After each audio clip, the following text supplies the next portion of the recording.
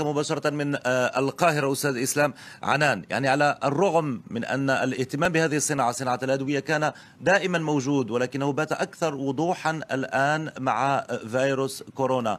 هل برأيك هذه الصناعة باتت استثمارا مضمون النتائج؟ هل يعني ذو ربحية عالية مقارنة مع الصناعات الأخرى؟ أهلا وسهلا ومساء الخير ومساء الخير لكل ضيوفك الكرام. ومشاهدين فرانس 24 هو فعليا تجارة الأدوية هي استثمار جيد ولكن لو بصينا على بالأخص صناعة اللقاحات هي اللي بيبقى دايما فيها risk أو فيها مخاطر عالية جدا في الأرباح. يعني إحنا لو تذكرنا مثلا إحنا لما بيبقى فيه لقاح بينتج لوباء بيبقى مش معروف هل الوباء ممكن مثلا ينتهي قبل انتهاء صناعة اللقاح زي ما حصل في سارس. يعني سارس كان في محاولات لصناعة لقاح وبالفعل في معمل أنتج لقاح ولكن كانت الجائحة نفسها انتهت فكانت الخسائر هائلة. فدايما الناس كانت بتخاف إن هي تخش وتبتدي تنفست وتبتدي تحط استثمارات في اللقاحات. حاليا اللي إحنا شايفينه إن ده ما حصلش. إحنا عندنا حتى الآن أكتر من 200 لقاح محتمل دخل جدول منظمة الصحة العالمية. الشركات الكبرى بتبتدي حاليا توزع إحنا موزعين أكتر من 210 مليون جرعة تم أخذها على مستوى العالم وهتستمر الجائحة لغاية 2023 على الأرجح بالتالي هتستمر الأرباح. وهي هنا الفكرة كلها إن شركات الأدوية حاليا هي المتروك ليها البحث والتطوير للقاحات ليست متروكة للدول. إحنا لو كانت الدول هي اللي بتنفست وهي اللي بتستثمر في اللقاحات كان الوضع بقى مختلف ولكن هو متروك للقطاع الخاص من زمان. يعني الدول ما بتتدخلش غير فقط أمريكا والصين هم اللي كان ليهم الاستثمارات في اللقاحات. غير كده أوروبا بالكامل لم يكن ليها كدول أي استثمارات في اللقاحات. بالتالي الشركات هي اللي كانت المنقذ للجائحة وهي كانت الأمل الوحيد إن يبقى في لقاحات. للأسف هم اللي هيبقوا متحكمين في السعر لأن هي شركات هادفة للربح وده حقهم.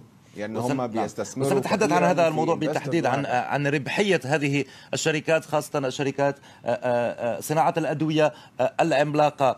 من لندن أستاذ بلال زعيتر أنت محاضر دولي في الأمن الدوائي سلسلة توريد الأدوية والمستلزمات الطبية. هل بالفعل هذا الوباء وباء كورونا هل قلب في نهاية المطاف النموذج الاقتصادي التقليدي راسا على عقب؟ هل هذه الشركات الكبرى التي تنتج هذه اللقاحات لها هدف واحد هو الربحية. على الرغم يعني من أن الأرقام حول الأرباح لا زالت مبهمة وخفية يعني نوعا ما.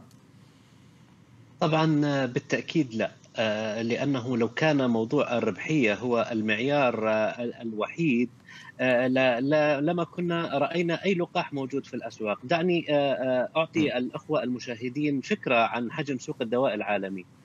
نحن نتحدث عن سوق يبلغ على أقل تقدير تريليون دولار وهناك تقديرات تقول أنه 1.25% تريليون دولار يعني تريليون و250 مليار دولار حجم سوق اللقاحات فيهم لا يتجاوز الاثنين في المئة. فاللقاحات تاريخيا هي غير مربحة وليست ذات شأن كبير في سوق الدواء العالمي. هذا أولا. طبعا الأسباب عديدة ويطول ذكرها ولكن بلغة الأرقام قبل خمسين عام في الستينات كان هناك حوالي الستين شركة تصنع لقاحات في العالم. حاليا هناك حوالي عشرين شركة فقط مصنعة للقاحات لأن سوق اللقاحات بشكل عام غير جاذب لشركات الأدوية. هذه حقيقة يعرفها جميع المتخصصون. الأسباب عديدة اللقاحات أولا تؤخذ مرة واحدة تكلفة تطويرها باهظة جدا وهناك ريسك تحدث عنه الدكتور إسلام قبل قليل. خطر صرف مبالغ كبيرة تصل قيم بمليارات الدولارات وقد لا يتم الاستفادة منها ماليا. عدا عن ذلك من هم زبائن اللقاحات بالعادة؟ زبائن اللقاحات هم الحكومات والمنظمات مثل منظمة الصحة العالمية الذين يفاوضون ويأخذون اللقاحات بأسعار قليلة. فال vaccine بشكل عام هو شيء قليل الربحية. وعندما نتحدث عن أرقام 30 و40 مليار دولار قد تبدو لغير المتخصصين أنها أرقام ضخمة. رقم مثلا 15 مليار دولار أرباح فايزر من لقاح الكورونا. هو رقم ضخم لغير المتخصص ولكن من أصل تريليون دولار حجم السوق هو لا شيء. إذا نظرنا إلى خسائر الجائحة هذه الجائحة كلفت البشرية لغاية الآن خسائر بقيمة ثمانية مليارات ثمانية تريليون دولار ثمانية آلاف مليار دولار. فبالتالي إذا صرفنا 30 أو 40 مليار دولار على اللقاحات هذا لا شيء. عدا عن ذلك يقال دائما فتش عن المستفيد. الأغلب يعتقدون أن المستفيد من هذه نعم. الجائحة هم شركات الأدوية واللقاحات ولكن من يرى قطاع التقنية هو المستفيد الأكبر. شركات التقنية هي التي تضاعفت قيمة أسهمها عشرات المرات. إذا رأيت قائمة نعم. أكبر 20 ملياردير في العالم ستجدهم ليسوا أصحاب شركات أدوية. ستجدهم أصحاب شركات لها علاقة بالتقنية. فأنا باعتقادي أن العالم يركز على شركات الأدوية والاستفادة الاقتصادية منها وهذا الكلام صحيح. فحق الربح هو حق طبيعي وهناك استثمارات نعم. بمليارات الدولارات ولكن شركات الأدوية ليست المستفيد الأكبر من هذه الجائحة. حتى إن صح التعبير نعم. هي أرباحها هي فتات مقارنة بالقطاعات الغيرها والتقنية على وجه الخصوص. نعم اذا الفكرة واضحة. هذه الصناعات ليست آه، الدجاجة التي تبيض ذهبا كما يقول آه، الكثيرون. آه، أستاذ غسان سعيد من ميشيغان. يعني هذه الصناعة تشهد نموا كبيرا حاليا صناعة الأدوية. يعني هناك يعني بحوث كبيرة فيما يتعلق بالتكنولوجيا في أيضا في هذه الأسواق العالمية الكبيرة. هل سنشهد برأيك نزوح هذه البحوث وهذه الصناعات نحو الدول النامية بالنظر إلى تكلفة الإنتاج المنخفضة في هذه الدول كالهند والبرازيل مثلا؟ آه، مساء الخير لضيوفك الكرام ولك وللمشاهدين. آه، أول شيء زي ما تفضلوا ضيوفك اللي تكلموا قبلي آه، صناعة اللقاح والاستثمار فيها هي صناعة غير مربحة. ولسبب إنه تطوير اللقاح بياخذ من خمسه لسبع سنوات حتى يتم تطويره إذا نجح. فلذلك الشركات الكبرى عندما بدأت جائحة كورونا آه، آه، كانوا آه، مترددين في الاستثمار وفي إنهم يعني يستخدموا التكنولوجيا تبعهم في تطوير لقاح لكوفيد 19 فلذلك الحكومة الأمريكية والحكومات الأوروبية ومش بس الحكومات كمان آه، آه، يعني المؤسسات زي بيل جيت فاونديشن زي علي بابا حتى أشخاص معينين يعني تبع جوجل كلهم آه، يعني شاركوا وشجعوا هذه الشركات وضخوا أموال طائلة يعني ترامب بأمريكا 900 مليون دولار ضخ في شركات موديرنا وفايزر وغيرها. لإقناعهم بتطوير استخدام التكنولوجيا لتطوير اللقاحات. فأنا آه، لهذا السبب آه، آه، أنتج لقاح أو لقاحات عندنا الآن حوالي 220 لقاح موجودة في السوق منها 50 لقاح في المرحلة السريرية الثالثة. فنجاح اللقاحات واستثمارها وكمية الموارد اللي حت اللي حتجنيها شركات الأدوية من من وراء اللقاحات حتكون تعتمد على عوامل كثيرة. أهم عامل فيها هو كم حيستمر آه نسبة المناعة في جسمنا للقاح للفيروس. يعني. إذا أخذت اللقاح كم حيستمر نسبة المناعة؟ إحنا بنتكلم عن ستة شهور لثمانية شهور حاليا ممكن نتكلم عن سنة. يعني ممكن أقصى حد ممكن نتكلم عن سنة. لذلك إذا كان إذا حدث إنه لقاحات كورونا حتصير موسمية زيها زي آه، آه، لقاحات الإنفلونزا ومحتاجة لجرعة محفزة كل سنة فحتكون طبعا مربحة لشركات الأدوية والاستثمار فيها حيكون حيكون يعني أكبر بشكل مربح. نعم. نعم. نعم الفكرة واضحة. حتى نمر الآن إلى بيروت معك إسماعيل سكري رئيس الهيئة الوطنية الصحية في لبنان. في نهاية المطاف يعني نتحدث عن هذه الصناعة بمليارات الدولارات ولكن فيما يتعلق باللقاحات من سيدفع هذه الفاتورة؟ هل الحكومات أم في نهاية المطاف؟ ستدفع من جيوب المواطن سواء تعلق الأمر بالدول العربية أو غيرها من الدول. تسمع؟ اولا تحية لك ولضيوفك واسمح لي مرر آه، بالأول آه، كلمتين عن شركات الدواء. ولأنه قدمت من الضيوف الكرام بكلام كثير محترم ومهم طبعا ولكن قدمت شركات الدواء بشكل إنها كثير هيك بريئة ومسالمة من السعي للربح المالي إلى آخره. وهذا تدحضه وترفضه الدكتورة مارسيا أنجل 20 سنة مديرة أهم مجلة طبية New England Journal of Medicine بكتاب طويل عريض me too drugs كيف باختصار كانت شركات الدواء. كيف طبعا سعوا وزادوا ل 20 سنة intellectual property براءة الاختراع. وقبل ما تخلص براءة الاختراع كيف بدوروا الزوايا أو بغيروا مجرد nucleus وبيقدموا لك دواء. هو شكله مختلف نفس المضمون وبيحصدوا مليارات الدولارات مرة سنة بالعشرين سنين. هذا كله موجود هذا لحاله بده حلقة طويلة وفي كتب بين إيدي موجودة وقارئها تماما.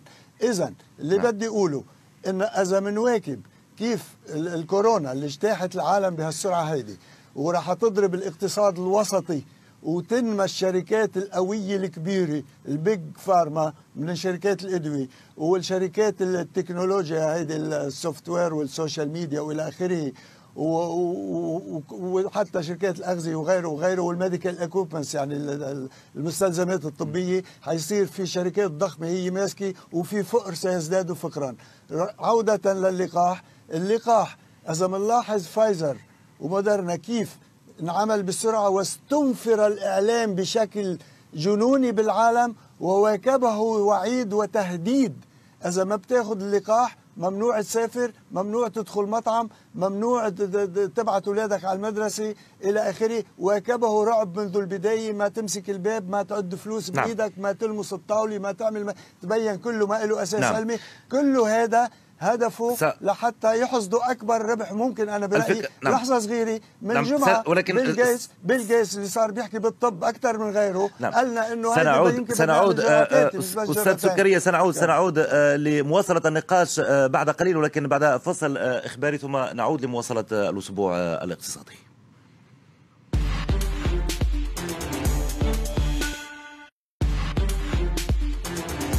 أهلا بكم مشاهدينا من جديد في الجزء الثاني من الأسبوع الاقتصادي. نواصل النقاش في حلقة اليوم عن صناعة الأدوية وأيضا عن صناعة اللقاحات في العالم وعن المستفيد والرابح الأكبر من هذه الصناعة. وكنا قد توقفنا في الجزء الأول معك من لبنان أستاذ إسماعيل السكرية. فل يعني كنت قد سألتك عن من سيدفع فاتورة هذه اللقاحات وهذه الأدوية وخاصة في الدول النامية والدول الفقيرة. نعم. سيدفع الفاتورة المواطن هو الذي سيدفع الفاتورة. وكمان مش بس الدول النامية إذا بنتذكر بإنفلونزا الخنازير H1N1 اللي حصدت 18 مليار دولار تلقح 5 ملايين مواطن فرنسي على جرعات متعددة متعددة. ودفعوا يعني رفعوا الضرائب على المواطن الفرنسي وقت الدولة الفرنسية وقامت الضجة والرفض لهذا الموضوع كله سوا. كذلك راح ضرائب حزيد وهلأ بفرنسا حيرجعوا عندك يرفعوا ضرائب. بالدول العالم الثالث مثل عندنا نحن المواطن هو حيدفع الثمن يعني عندنا بلبنان مثلا جزء منه قرض من البنك الدولي هذا دين. وجزء آخر دفعت شوي الدولة اللبنانية كمان هذا بدولة تعاني ما تعانيه من انهيار اقتصادي وإلى آخره. المواطن هو الذي سيدفع. أنا كنت بس كم بدقيقه بس الفكرة نعم كنت عم إذا سمحت لي. إنه لما إيه إنه لما لما آه حد يعني لما قدروا يمرقوا من أيام الرئيس ريغن وغيره إنه صارت يعني البحوث العلمية آه بتدخل من كليات الطب حتى تدخل باطاء الإحصاءات وبينعمل لها يعني تستفيد منها براءة اختراع ومسكتها البيج فارما هذا الموضوع. صفوا ينزلوا كثير من الصرف اللي كانوا يصرفوه الكبير. 30 ل 35% كانوا يصرفوا على إنتاج novated drug ياخذ معهم 10 12 سنة يحطوا شي مليار دولار على القليلة. صاروا بعدين خفضوا كثير ل 10 5% وصاروا يعتمدوا على ال lobbying و marketing يعني كان مع أطباء ومع المجالس النواب ومع النافذين ومع الهيئات الصحية والى آخره والى آخره. كل هذا الكلام لا يبرئ شركات الدواء ونقدمها إنه بكأنه والله بريئة وحرام دائما كثير في مغامرة إنه لا هالمرة عارفين شو عم يعملوا؟ هيدا أسلوب الضغط والتهديد الذي لا يليق بالعلم. إنه تقول لي يا باخذ لقاح يا ممنوع تسافر ممنوع تروح على المطعم ممنوع تحرك برات بيتك. هذا ما بيجوز ينحكى بشكل طبي. الإنسان له حق بيمارسه. أنا طبيب أنا طبيب وبعرف. في مرضى بقول لهم بدنا نعمل هيك هيك عمل طبي بدك تمضي لي توافق بيقول لك أنا ما بدي. وما ب... على مسؤوليتك على مسؤوليتك بمضي على مسؤوليته ما بده. هذا طيب، حقه. نعم. حقي كإنسان أنا وافق أو أرفض. مش تهددني بهالطريقة هيدي. نعم اذا الفكرة آه، واضحة وهنا. أتوجه إليك من آه، لندن أستاذ بلال زعيتر. سمعت إلى ما قاله آه، الدكتور إسماعيل سكري وهو لا يوافقك الرأي بتاتا. في نهاية المطاف هذه الشركات شركات ربحية نتحدث عن خمسة ربما ونصف تريليون دولار في صناعة الأدوية بشكل عام في العالم. لماذا هذه الأسعار أسعار الأدوية مرتفعة وخاصة في الدول العربية؟ طبعا آه، أنا أتفق مع الدكتور إسماعيل في في جزء مما تحدث به آه، ال big pharma أو ال pharma industry آه، هي صناعة تسعى إلى الربح وهناك حديث عالمي عن المبالغة بنسبة الأرباح. طبعا هذا الشيء موجود ومعروف وهناك حكومات تسعى له وهناك قوانين براءة اختراع وقوانين منظمة التجارة الدولية. آه، آه، طبعا آه، الربح هو المحرك الأساسي للنظام الرأسمالي الغربي. 99% من الاختراعات التي نتنعم بها لولا سعي الشركات إلى الربح ولولا حقوق الملكية الفكرية لما رأيناها فبالتالي لا يجوز أن نطبق هذا المعيار فقط على شركات الأدوية ونحاسبها على أرباحها.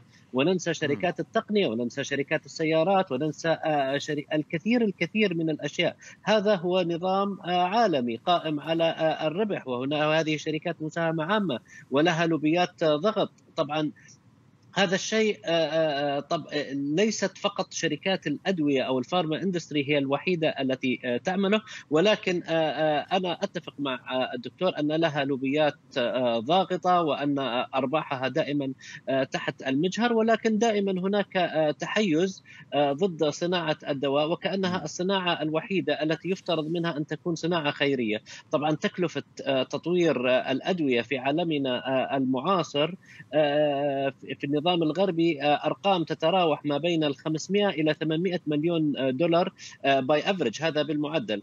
طبعا بالنسبة لموضوع الإجبار على تناول اللقاح لا يوجد دولة في العالم أجبرت على تناول اللقاح هذا الشيء اختياري. ولكن بلغة الأرقام دعني أتحدث أنه عندما يقول العلم وعلماء الأوبئة أن آه، اللقاح هو سبيلنا الوحيد للخروج من الجائحة. فهذه ليست من اختراع شركات آه، الأدوية. شركات الأدوية هي جزء بسيط من من العملية. آه، هنا في المملكة المتحدة أنا أعيش في بريطانيا. حاليا حوالي 16 مليون شخص آه، قد آه، تلقحوا. عندما نرى أنه هناك انخفاض 60% بالإدخال إلى غرف العناية الحثيثة نعم. ف data speaks for itself الأرقام آه، تتحدث. ولا يوجد إجبار لم أرى دولة في العالم تفرض اللقاح على المواطنين. وتحدث الدكتور آه، إسماعيل عن مبدأ آه، ال consent موافقة المريض. لم أرى بأي دولة في العالم قوات من الأمن والشرطة تذهب إلى بيوت الناس لتجبرهم أن يتلقحوا. نعم الفكرة نعم الفكرة الفكرة الفكرة واضحة. هنا أردت فقط أن أتحدث عن صناعة الدواء في الدول العربية. يجمع الكثيرون أنها تعاني تدهورا شديدا.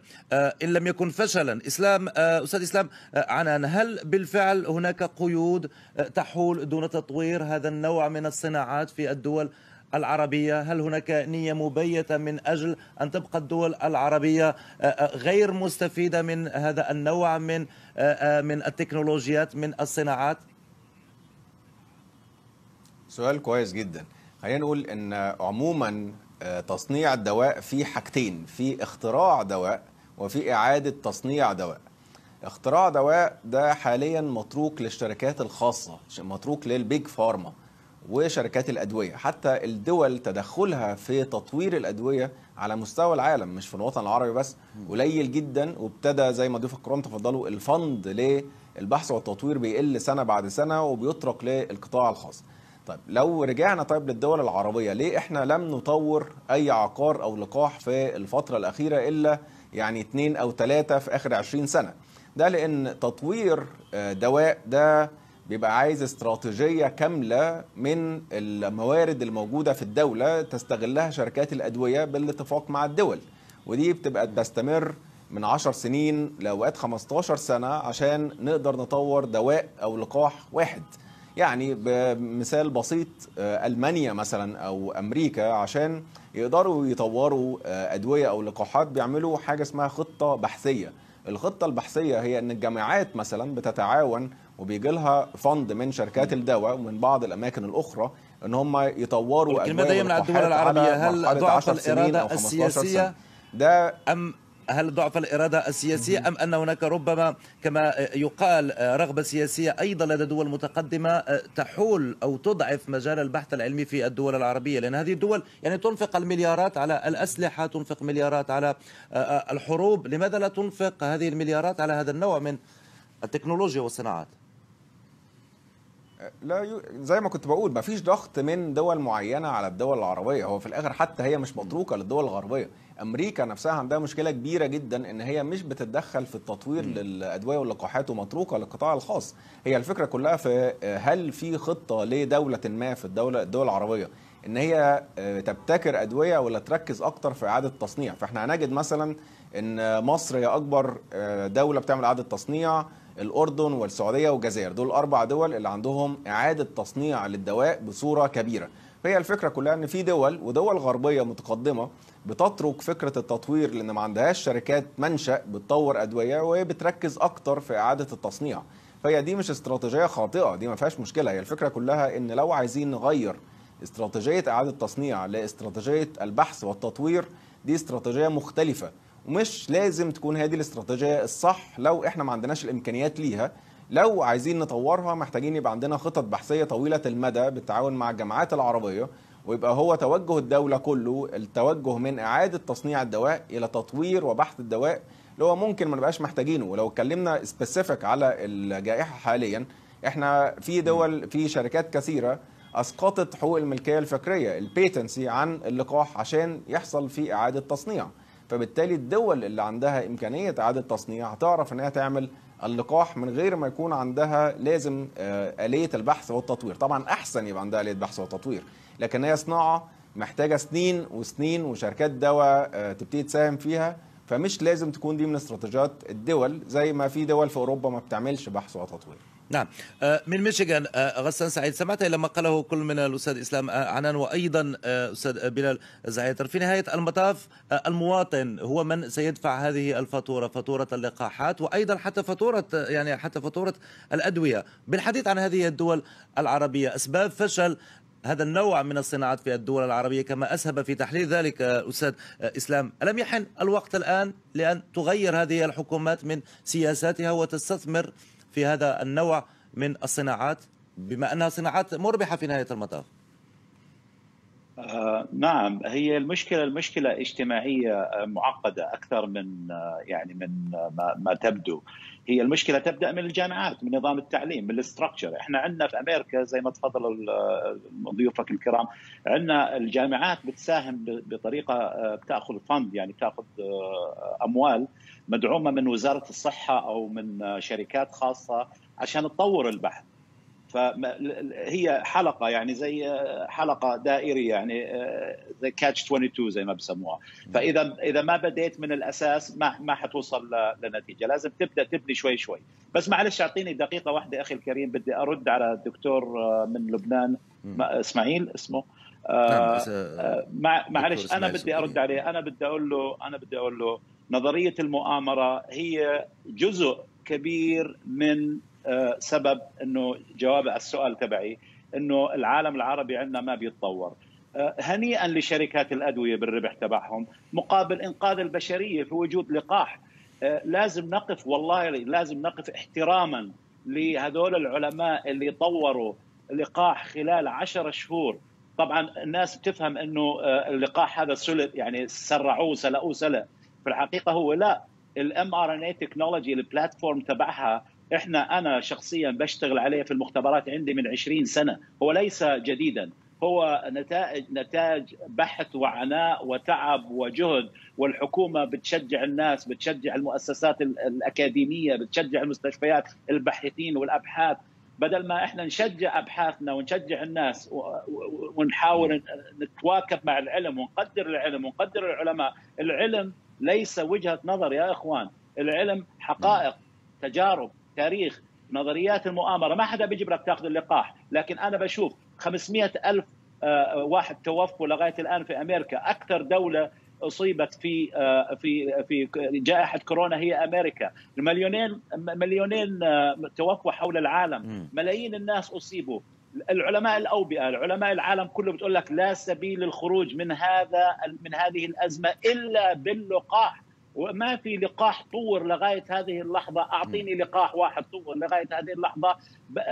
ضر البشرية ضر الناس. اللقاحات أنقذت ملايين الأشخاص حول العالم خلال السنوات اللي سابقة. وأنت دكتور بتعرف بالموضوع هذا. بالفعل. فأنا من موقعي نعم. هذا أنا من موقعي هذا. بشجع كل الناس اللي بتسمعني. تترك نظرية المؤامرة. هذا المرض خطير. هذا الوباء خطير جدا جدا جدا. وليست إعلام. وتاخذ اللقاح واللقاح لا, لا مقارنه إحنا عندنا قاعدة في الطب بتقول maximize benefit minimize harm يعني في ما في شيء 100% مضمون. لما تسوق سيارتك أنت معرض إنك تموت. فاللي بيقولوا إنه اللقاحات لها side effects ولها أعراض جانبية ولا كذا وكذا وكذا هذا نعم. الكلام غير صحيح. الفكرة واضحة ووصلت إلى الدكتور إسماعيل آه، سكرية دكتور أنت كنت في قلب آه، السياسات آه، الصيدلانية والسياسات الطبية في لبنان عندما كنت نائبا ومسؤولا نعم. عن هذه اللجنة. نعم. لماذا هذا التأخر في الدول العربية؟ في صناعة الأدوية بشكل عام حتى لا يعني لا الحصر على سبيل يعني المقارنة مع اللقاحات فقط. بس نعم بس إذا بتسمح لي تعليق سريع. على الكلام الأخ بعتقد الدكتور بلال زعيتر بلندن إنه آه عم نحكي عن الدواء. نحن اولا وافقني على بعض الأشياء مشكورا وأنا بوافقه طبعا إنه كل الصناعات الأخرى اسلحه وسلاح كله بده يربح. طبيعي هذا. بس نحن عم نحكي عن شركات الدواء ثائبت يعني. بس ما يحولها لمزح بالآخر إنه لما عم نقول في ضغط وتهديد وهو بيعرف إنه بعده موجود الضغط والتهديد الإعلامي إنه ما بياخذ ما بيسافر ما بيروح ما بيجي ما كذا. ما يحولها إنه الشرطة عم تروح على البيت وتضغط ما لو نحن بالعكس. يعني خلينا بمستوى القضية. عودة للدكتور ضيفك اللي بميشيغان أنا ما قلت مؤامرة. حدا جاب سيرة المؤامرة؟ ما عم بحكي على المؤامرة. أنا عم بحكي على أسلوب الربح وما الربح وهذا بالنهاية حقهم. ماجب طبيعي التلقيح طبيعي. أنا طبيب وبفهم. في جائحه في ضده في شيء اسمه تلقيح. أنا ما رفضت التلقيح ولا جبت سيرة المؤامرة. شيء غريب يا أخونا أنت اللي عم تسألنا الأسئلة. في شغلة بلاحظها أنا غريبة وأنا لابد بدي اعمل عليها مقالة طويلة عريضة. إنه ما بيلحق واحدنا يسأل سؤال. إنه لك يا خيي ليش مثلا قلتوا ما بنتحمل مسؤولية مضاعفة؟ ليش بهالسرعة عملتوا؟ ليش عم تهددوا إنه تعمل؟ مجرد سؤال مش مشروع نسأل. دغري تفضل لك الحرية في من هؤلاء في الاطباء في الإجابة ولنا الحرية في السؤال الحرية أيضا. على الأقل. تفضل.